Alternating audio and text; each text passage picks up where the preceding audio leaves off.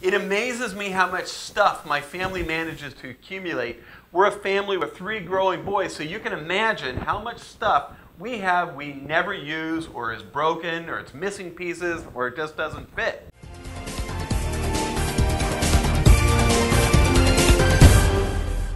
I have several videos coming up about things to throw out today, but in this video we're going to attack bedroom closets and dressers. Now, when I say toss, that doesn't always mean throw away. If someone else can use it, donate it. Now here's my list of 10 things you can get rid of right now. Number one, clothes that don't fit. If they don't fit, forget them. You're not going to want to use them anyway. Number two, promotional or free t-shirts you never wear. Number three, shoes that are out of style, too high of a heel, too small, hurt to wear, whatever, not gonna use them. Number four, single socks, the pair's gone. Number five, old scarves or ties you never wear. I got a few of those.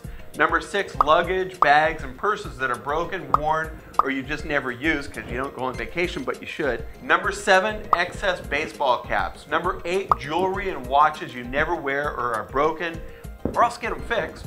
Number nine, old prescription glasses. Number 10, uncomfortable jeans that you hate to wear. Now that you've done that, do you have more room in your closet and dresser? Did that feel great? Awesome. Now that you've simplified your bedroom, let's keep it going and simplify your life.